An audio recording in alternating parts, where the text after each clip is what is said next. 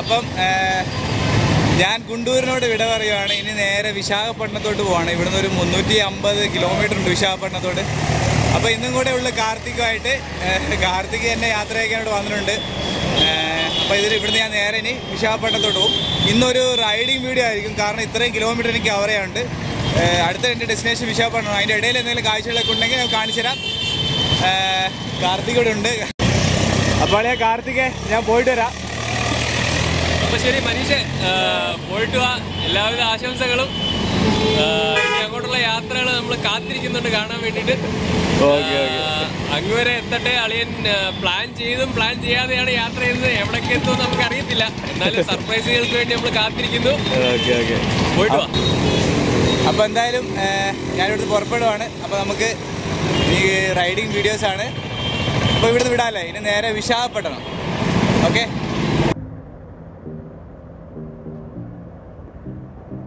അങ്ങനെ നമ്മൾ കാർത്തിക്കിനോട് വിട പറഞ്ഞ് നേരെ വിശാഖപട്ടണത്തിലോട്ട് പോവുകയാണ് കേട്ടോ. കഴിഞ്ഞ ഒരു മൂന്ന് ദിവസമായിട്ട് മൂന്ന് മൂന്നര ദിവസമായിട്ട് ഞാൻ കാർത്തിക്കിന്റെ കൂടെ ഉണ്ടായിരുന്നു. സത്യം പറയാ കാർത്തിക്കിനോട് ഉണ്ടാകുമ്പോൾ നമ്മളെന്തോ ഓരോ കാര്യങ്ങളൊക്കെ പറഞ്ഞ് സമയം പോകുന്ന അറിയത്തില്ലായിരുന്നു പുള്ളിക്കാരനായിട്ട് സ്പെൻഡ് ചെയ്യുമ്പോൾ അങ്ങനെ മൂന്ന് ദിവസം പോയത് അറിഞ്ഞില്ല. പിന്നെ അവന്റെ കൂടെ ഉള്ളപ്പോൾ എനിക്ക് സത്യം പറഞ്ഞാൽ നാട്ടിൽ നിൽക്കുന്ന ഒരു ഫീൽ തന്നെയായിരുന്നു.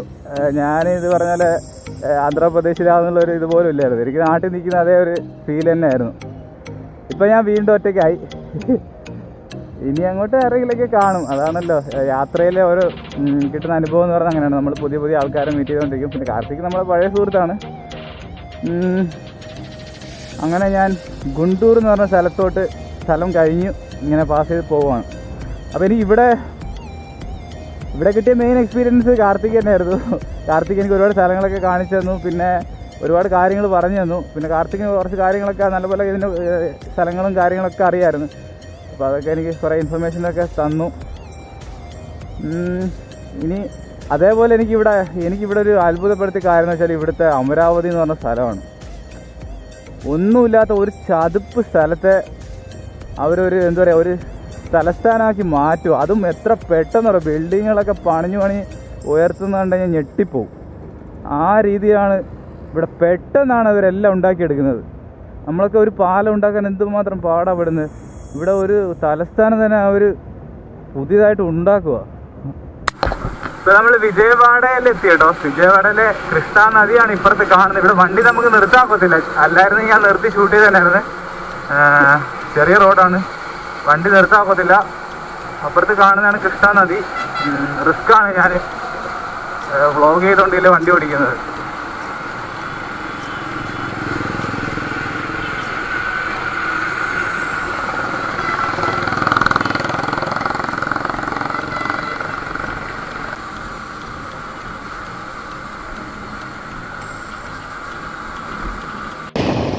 ഇതാണ് കൃഷ്ണ നദി കേട്ടോ വിജയവാഡ എന്ന് പറഞ്ഞ സ്ഥലത്താണിത്. നോക്കി അപ്പുറത്ത് റെയിൽവേ റെയിൽവേ ബ്രിഡ്ജാണ് ആ കാണുന്നത്. ആ കാണുന്നത് നമ്മൾ ട്രെയിനിലൊക്കെ പോകുമ്പോൾ ഉള്ള ബ്രിഡ്ജാണ് പിന്നെ വെച്ചാൽ ഇവിടെ വണ്ടി പാർക്ക് ചെയ്യാൻ പറ്റത്തില്ല കേട്ടോ. ഞാൻ കാണിച്ചു തരാമായിരിക്കോ ഇതാണ് വിജയവാഡ സിറ്റിയാണ് നമുക്ക് ഈ കാണുന്നതാണ് വിജയവാഡ സിറ്റി ബൈക്ക് ഉണ്ടോ? ബൈക്ക് ഞാൻ ഇവിടെ വെച്ചിരിക്കുക ഇത് റിസ്ക് ആണ്. കാരണം എല്ലാവരും ഫോൺ അടിക്കാൻ തുടങ്ങി. ഞാൻ ജസ്റ്റ് ഒന്ന് ഷൂട്ട് ചെയ്യാൻ വേണ്ടി. നമുക്ക് പെട്ടെന്ന് ഈ പാലം ക്രോസ് ചെയ്യാം. കാരണം ഇവിടെ നിൽക്കാൻ പറ്റത്തില്ല. വിജയവാഡ ഫുള്ള് കാണാൻ പറ്റും. രണ്ട് മലകളുടെ ഇടയിലായിട്ടാണ് ആ റെയിൽവേ ബ്രിഡ്ജ് എനിവേ നമുക്ക് വിടാം.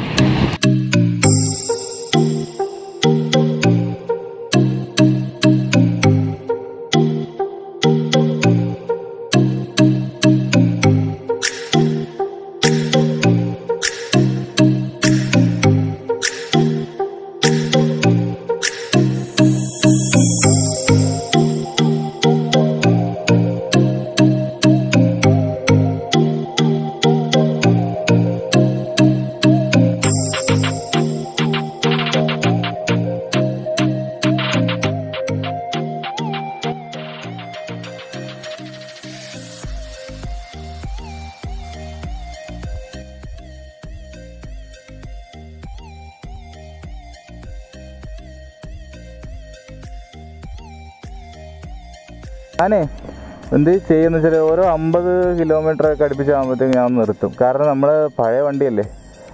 പഴയെന്ന് വെച്ചാൽ അത്ര പഴയൊന്നുമല്ല എട്ട് വർഷം.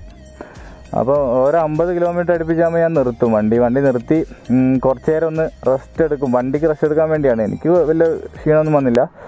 വണ്ടിക്ക് റെസ്റ്റ് എടുക്കാൻ വേണ്ടി ഞാൻ കുറച്ച് നേരം നിർത്തിയിട്ടാണ് എപ്പോഴും പോകുന്നത്. അമ്പത് ഇപ്പോൾ ഒരു മുന്ന് ഇന്നിപ്പോൾ മുന്നൂറ്റി എൺപത് കിലോമീറ്റർ കവർ ചെയ്യാനുണ്ട്. അപ്പോൾ അതിന്റെ ഇടയിൽ ഞാൻ ഒരു അമ്പത് അമ്പത് കിലോമീറ്റർ വെച്ച് റെസ്റ്റ് എടുത്ത് പോകും അതായിരിക്കും ബെറ്റർ അങ്ങനെ ആകുമ്പോൾ നമുക്ക് വണ്ടിക്ക് കുറച്ചും കൂടെ സേഫ്റ്റിയാണ് വണ്ടിയുടെ ഹീറ്റിംഗ് ഒന്ന് കുറയും. പെട്ടെന്ന് അങ്ങ് ഹീറ്റ് ആവുമല്ലോ. അപ്പോൾ ഹീറ്റ് കുറയ്ക്കാൻ പറ്റും. അതുകൊണ്ട് ഞാൻ ഇവിടെ ഒരു സ്ഥലത്ത് കണ്ടോ ഇങ്ങോട്ട് നടന്നു പോയാൽ കാണാൻ പറ്റും. ഒരു ചെറിയ റെയിൽവേ സ്റ്റേഷൻ നമ്മൾ എവിടെ പോയാലും റെയിൽവേ ആണ് കേട്ടോ. കാരണം റെയിൽവേ ആയിട്ട് നമുക്ക് ഭയങ്കര ബന്ധമുണ്ട്. കുടുംബപരമായിട്ട്. അമ്മയുടെ അച്ഛനൊക്കെ ട്രെയിനിന്റെ ഡ്രൈവറൊക്കെ ആയിരുന്നു. അതുകൊണ്ട് റെയിൽവേ ആയിട്ടൊരു ബന്ധം ഞങ്ങൾ ചെറുപ്പത്തിലേ ഉണ്ട്. അതുകൊണ്ട് ഞാൻ എവിടെ പോയാലും റെയിൽവേ സ്റ്റേഷൻ അല്ലെങ്കിൽ റെയിൽവേ ട്രാക്ക് കാണും. സ്ഥലത്തിന്റെ പേര് ബിമഡോളു. ബിമഡോളു എന്ന് പറഞ്ഞ സ്ഥലമാണ്. പ്രൊണൗൺസിയേഷൻ അതാണെന്ന് അറിയുമ്പോൾ ബിമഡോളു. കണ്ട ആൾക്കാരൊക്കെ അവിടെ ഇരിപ്പുണ്ട്. ആൻഡ് ഇനി കുറച്ച് നേരം റെസ്റ്റ് എടുത്തിട്ട് നമുക്ക് വിശാഖപട്ടണത്തോട്ട് പോവാം.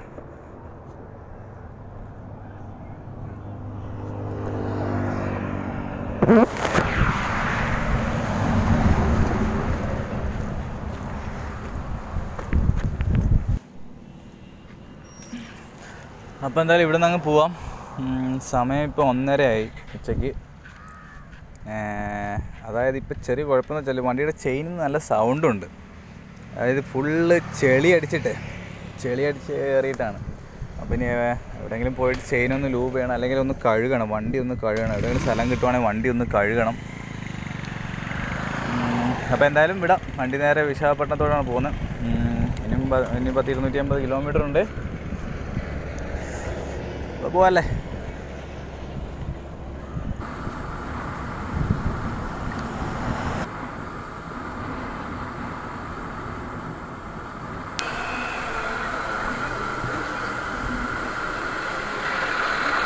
ഈ റോഡിന്റെ ഞാനിപ്പോൾ വരുന്ന വഴിക്ക് ഈ റോഡിന്റെ സൈഡിലായിട്ട് ഓ സൈഡിലൊരു എന്താ പറയുക ഒരു ആറ് പോകുന്നുണ്ട് ഒരു പുഴ പോകുന്നു അവിടെ ചെല്ലാൻ പറ്റുമെന്ന് അവിടെ എത്തുവാണെങ്കിൽ നമുക്ക് വണ്ടി ഒന്ന് ജസ്റ്റ് ഒന്ന് കഴുകണം. പിന്നെ ഞാൻ ഭക്ഷണമൊന്നും കഴിച്ചിട്ടില്ല. ഇവിടെ ഒന്നും ഭക്ഷണം കാണാൻ വഴിയില്ല. ഇതിലേ പോയാൽ അതിനകത്ത് എത്തുമെന്ന് അറിയാൻ പറ്റില്ല. എത്തും തോന്നുന്നു വഴി. എന്തായാലും ഒന്ന് പോയി നോക്കാം. ഇതിലേ പോയിട്ട് അവിടെ എത്തുവാണെങ്കിൽ വണ്ടി ഒന്ന് കഴുകാം. ഏതോ ഗ്രാമമാണ് ചെറിയ ഗ്രാമം. ഇതിലെ വഴി ഇല്ലെന്ന് തോന്നുന്നു. നോക്കട്ടെ വഴി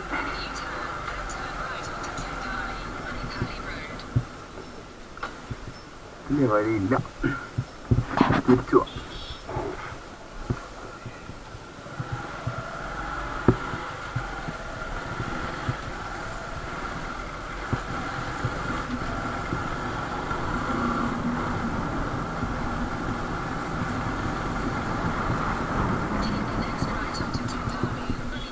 വഴിതെറ്റി വന്നുകൊണ്ട് ഗൂഗിൾ മാപ്പ് ഭയങ്കരമായിട്ട് തന്നെ പറഞ്ഞു തരുന്നുണ്ട്. ഇതിലെ പോലെ മോനെ ഇതിലെ പോലെ മോനെ എന്ന് പറഞ്ഞുകൊണ്ടിരിക്കുക ഇപ്പുറത്ത് ഒരു വഴി കാണുന്നുണ്ട്.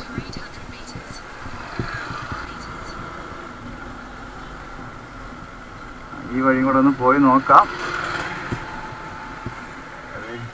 ജോഗ്രഫിക്കലി ഇങ്ങോട്ടാണ് കണ്ടത്. നമുക്ക് നോക്കാം. നടന്നില്ലെങ്കിൽ തിരിച്ചു പോവാം.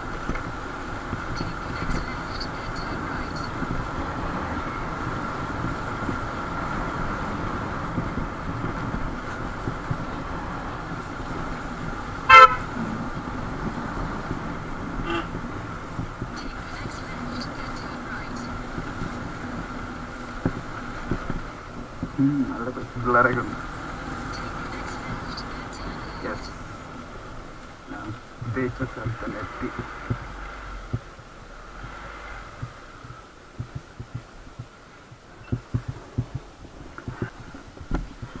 വണ്ടിയുടെ വേറൊന്നും കഴിയണ്ട. എനിക്ക് ആ ചെയിനിന്റെ ഭാഗത്തൊക്കെ ഭയങ്കരമായിട്ട് മണ്ണടിച്ചിരിക്കുക അപ്പൊ അതൊന്ന് ക്ലീൻ ചെയ്താൽ മതി. ഭയങ്കര ചെയിനിൽ നിന്ന് ഭയങ്കര സൗണ്ട് കേൾക്കുന്നു.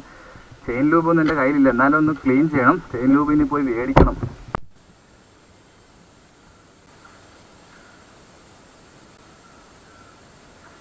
അത്ര വലിയ വൃത്തിയുള്ള വെള്ളമൊന്നുമല്ല എരുമയൊക്കെ കുളിപ്പിക്കുക. ഇവിടെയൊക്കെ വെള്ളം കിട്ടാൻ വലിയ പാടാണ്. കുടിവെള്ളം ഭയങ്കര പാടാണ്. ഞങ്ങളിന്ന് കാർത്തിക്കിന്റെ അവിടെ തന്നെ ഞങ്ങൾ പൈസ കൊടുത്താണ് വെള്ളം മേടിക്കുന്നത്. ഞാൻ ജസ്റ്റ് എനിക്ക് ആ ചെയിനിന്റെ ഭാഗത്ത് ഭയങ്കര മണ്ണായതുകൊണ്ട് അതൊന്ന് ക്ലീൻ ചെയ്യാൻ വേണ്ടി മാത്രം വണ്ടി ഫുള്ളായിട്ടൊന്നും ഇപ്പോൾ സർവീസ് ഒന്നും ചെയ്യുന്നില്ല. അതൊക്കെ പിന്നെ ചെയ്യാം. ഇപ്പം ജസ്റ്റ് നമുക്ക് ചെയിന്റെ സർവീസ് ചെയ്യാൻ നിന്നാൽ ചെയ്തുകൊണ്ടേ ഇരിക്കണം അഴുക്കായിക്കൊണ്ടിരിക്കും അപ്പോൾ അതൊന്നും നടക്കത്തില്ല ഇപ്പം. അതുകൊണ്ട് നമ്മളെ കൊണ്ട് വരുന്ന സെൽഫ് സർവീസ് ചെയ്യാം. ഇവിടെ മാത്രമേ ഉള്ളൂ എനിക്ക് അവിടെ ഇപ്പോൾ ഈ ചെളി അടിക്കുന്നുണ്ടേ പെട്ടെന്ന് അങ്ങ് ചെയിനൊക്കെ ലൂബ് ചെയ്യണം. അതൊക്കെ ഇനി പോയിട്ടേ ചെയ്യുന്നുള്ളൂ. ഇപ്പോൾ ഒന്ന് പോയിട്ടൊക്കെ ചെയ്യണം. ഇപ്പോൾ അതൊന്നും ചെയ്യാനൊന്നല്ലേ? പറ്റത്തില്ല. എനിക്കറിയാം ഇവിടെ കഴിയാൽ തന്നെ സൗണ്ട് അങ്ങ് മാറും. സ്ഥിരം ഉപയോഗിക്കുന്നതുകൊണ്ടേ നമുക്കറിയാം.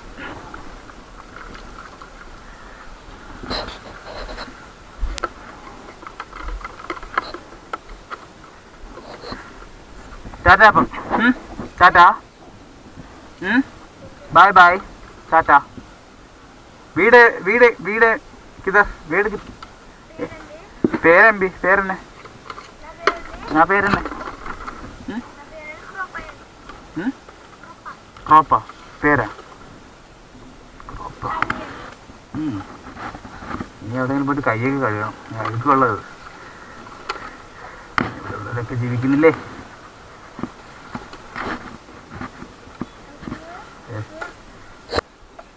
ടാറ്റാ ഉം. എന്താണോ എന്തോ എല്ലായിടത്തല്ല അപ്പൊ ഇവിടെ ഇനി കശിക്കുന്നു. ഞാൻ ജസ്റ്റ് ഇപ്പൊ തന്നെ സൗണ്ട് മാറും. ആ ചെയിന്റെ ഭാഗത്ത് ഭയങ്കര മണ്ണുണ്ടെങ്കിലേ ഭയങ്കര സൗണ്ടാണ് ഇനി എവിടെയെങ്കിലും പോയി ആഹാരം കഴിക്കണം. സമയം ഒരുപാട് ലേറ്റ്. വിശക്കുന്നുണ്ട്. സമയം എന്ന് പറയുന്നത് ഇപ്പം രണ്ടര കഴിഞ്ഞാണ്. ഫോൺ പോക്കറ്റിരിക്കാം രണ്ടര കഴിഞ്ഞാണ്. എന്നാലും ഹോട്ടലിൽ പോയിട്ട് കൈ കഴുകി ഫുഡ് കഴിക്കണം. വണ്ടി വെളിയിൽ വെച്ചിട്ട് ഞാനിപ്പോൾ ഒരു ഹോട്ടലിൽ കയറി ചോറ് കഴിക്കാൻ ആയി സമയം. ചോറ് പറഞ്ഞിട്ടുണ്ട് ഇപ്പോൾ കൊണ്ടുവരും അപ്പോൾ നമുക്ക് നോക്കാം ഇവിടുത്തെ ഫുഡ് എങ്ങനെയുണ്ടെന്ന് നോക്കാം. ഞാൻ ചോറാണ് പറഞ്ഞത് പക്ഷേ ഇതിനകത്ത് ചോറ് കാണുന്നില്ല. കറി മാത്രമേ ഉള്ളൂ. ഇനി കൊണ്ടുവരായിരിക്കും. ഒരു കുറച്ച് എന്താ നാരങ്ങ ചോറ് പോലത്തെ സാധനവും പിന്നെ കുറേ കറികളൊക്കെയാണ്. ഇനി ഇത് കഴിക്കും കഴിച്ചതിന് ശേഷമായിരിക്കും മെയിൻ ചോറ് വരുന്നത്. ആ സംഭവം. ഇതെല്ലാം തന്നെ ഒന്ന് ഇറക്കി വയ്ക്കണം ഇനി. ഒരു ചടങ്ങാ. ഇവിടുത്തെ ഫുഡിന്റെ കൂടെയൊക്കെ തൈര് മസ്റ്റ് മസ്റ്റാട്ടോ പിന്നെ ഇത് എന്തോ കറിയെന്ന് അറിയാൻ പറ്റും ഉരുളക്കിഴങ്ങാന്ന് തോന്നും ഇത് പരിപ്പ് കറി. പിന്നെ ഇത് മെഴുക്ക് വരട്ടിയതാന്ന് തോന്നും പിന്നെ ഇത് തോരൻ. വെണ്ടയ്ക്ക തോരൻ. പിന്നെ ഇത് പയറാണോ? അല്ലല്ല പയറല്ല. പിന്നെ ഒരു മഞ്ഞ കളർ മധുരമുള്ള സാധനമാണ്. പിന്നെ ഇത്. പിന്നെ ഈ ലെമൺ റൈസ് ലെമൺ റൈസാണ് ഇത് കഴിച്ചതിന് ശേഷം ചോറ് വരും.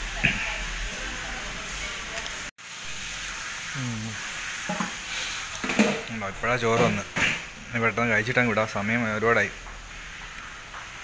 അപ്പോൾ കഴിച്ച് തീരാകുമ്പോഴാണ് നമ്മൾ ഈ തൈര് വെച്ച് വയ്ക്കണം ഭയങ്കര കട്ടിത്തൈരാണ്.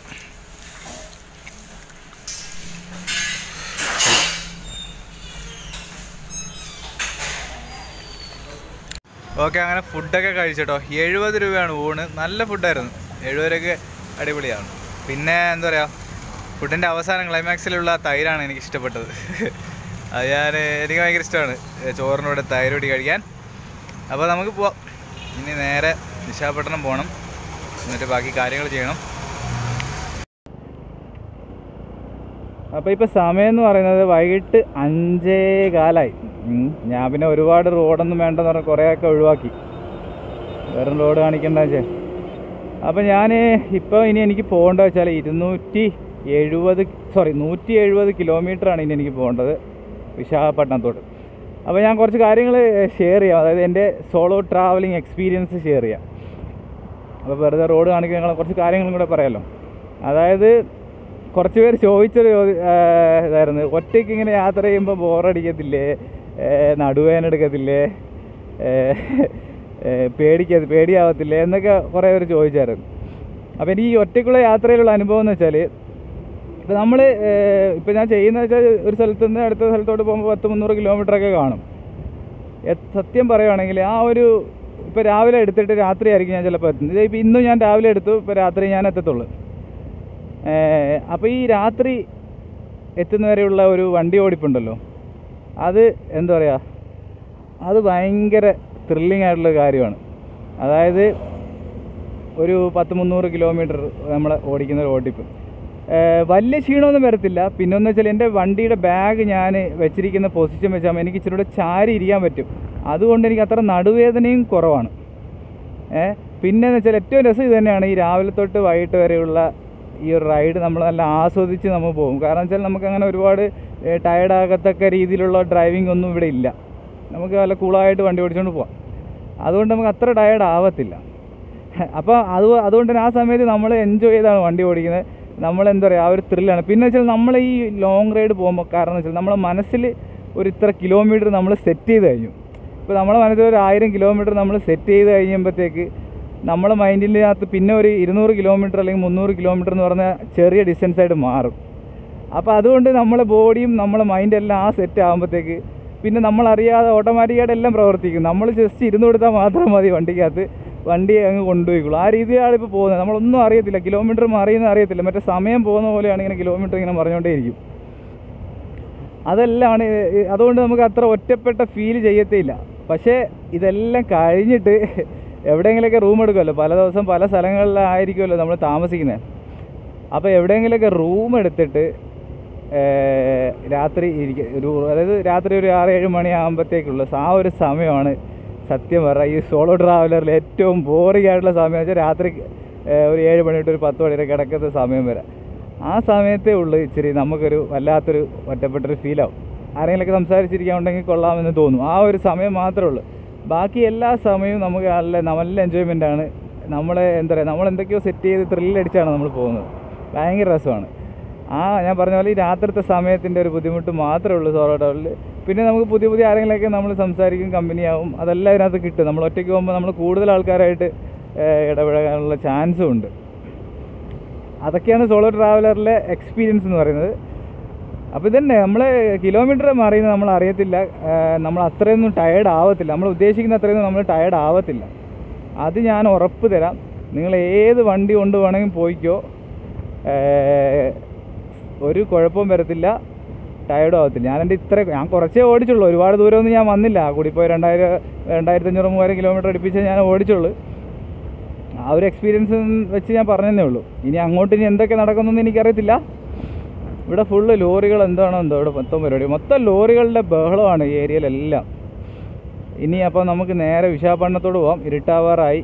ഇരുട്ടുന്നതിന് മുമ്പ് എനിക്ക് വിശാഖപട്ടണത്ത് എത്തണം ഇരുട്ടുന്നതിന് മുമ്പ് എന്തായാലും എത്തത്തില്ല. ഒരു പത്ത് മണി ഒമ്പത് പത്ത് മണിക്ക് ആകുമ്പോഴെങ്കിലും എത്തണം. ഇപ്പം ഇതിനകത്ത് പറയുന്നത് ഒമ്പത് മണിയാണ്. അപ്പം വിടാല്ലേ?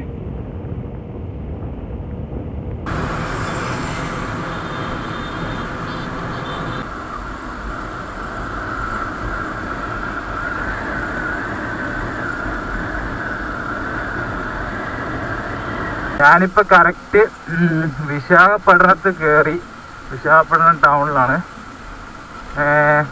അപ്പോൾ ഇവിടെ നമ്മളൊരു സുഹൃത്തുണ്ട്. നമ്മളെ വീഡിയോസൊക്കെ കാണുന്ന ഷാഫി എന്ന് പറഞ്ഞൊരു സുഹൃത്തുക്കാരൻ വിളിച്ചായിരുന്നു. അപ്പോൾ ഷാഫി ഒന്ന് പോയി കാണണം. അപ്പോൾ ഞാൻ അങ്ങോട്ടാണ് പോകുന്നത്. ഇനി നമുക്ക് അവിടെ എത്തിയിട്ട് ഷാഫിയെ കണ്ടിട്ട് ഇവിടെ വൈൻഡ് അപ്പ് ചെയ്യാം. വിശാഖപട്ടണം ടൗണിലൂടെ ഇങ്ങനെ പാസ് ചെയ്ത് പോകണം.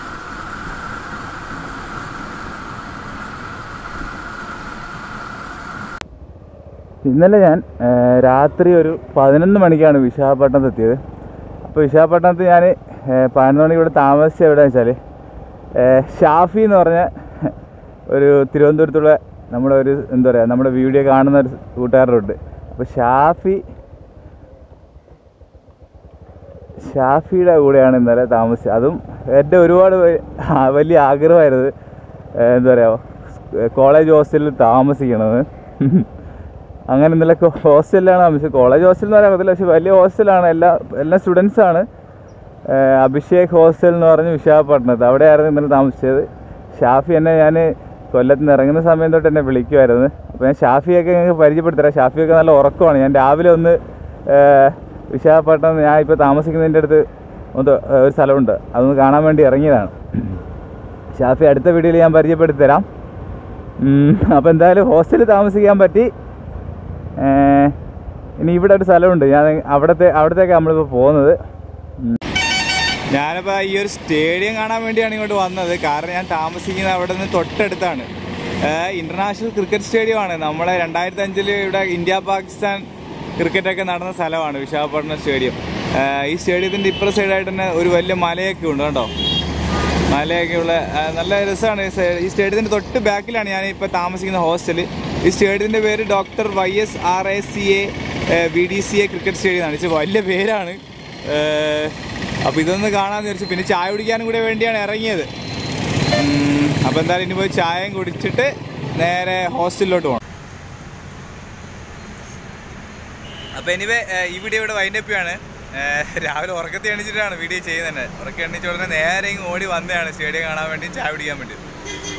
അപ്പോൾ അടുത്ത ഇപ്പോൾ ഈ വീഡിയോ എന്ന് പറഞ്ഞാൽ വലിയ സ്ഥലങ്ങളൊന്നും കാണിച്ചില്ല. കുറച്ച് റൈഡിങ് കാര്യങ്ങളൊക്കെ ഉള്ളായിരുന്നു. അപ്പോൾ അടുത്ത വീഡിയോയിൽ നമുക്ക് വിശാഖപട്ടണത്തിന്റെ കുറച്ച് നല്ല ഡീറ്റെയിൽസ് ഒക്കെ ഉൾപ്പെടുത്തിയുള്ള വീഡിയോ ചെയ്യാം. അപ്പോൾ ഈ വീഡിയോ എന്തായാലും ഇവിടെ വൈൻഡപ്പ് ചെയ്യുന്നു. അപ്പോൾ നമുക്ക് അടുത്ത വീഡിയോ കാണാം. എന്റെ അമ്മ ഞാൻ പേടിച്ചു പോയിട്ടോ നടന്നു പോയപ്പോഴേ നോക്കിയപ്പോഴത്തേക്ക് പാമ്പ്. ചത്തയുടെ കൊന്നിട്ടിരിക്കാൻ തോന്നുന്നു